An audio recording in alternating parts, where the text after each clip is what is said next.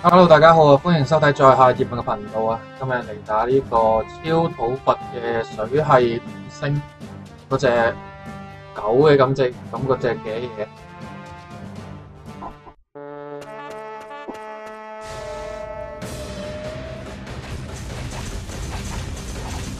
咁打法咧就有好多種嘅，其中一種咧就係誒揾兩個人會穩陣啲嘅，係用呢個破盾嘅裝備。咁輪流破啦，破咗之後咧，佢就唔會放毒噶啦。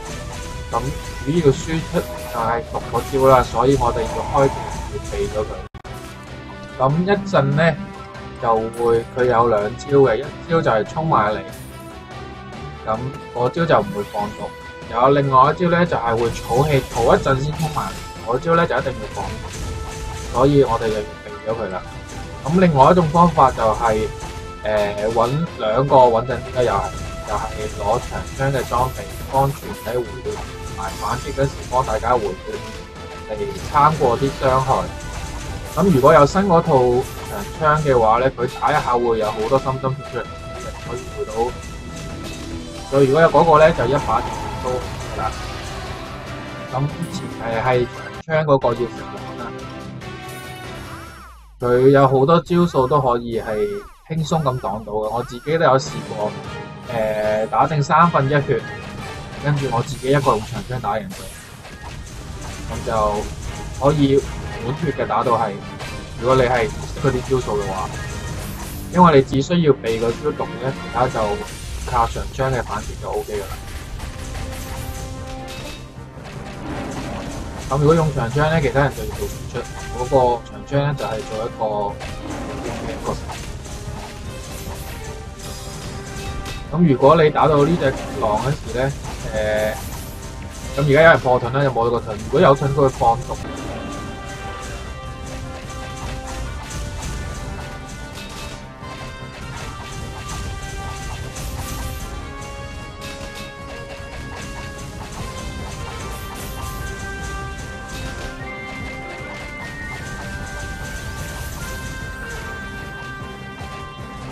咁放到呢招咧，撞到第一下之後咧，我哋開技咧就可以避過噶啦。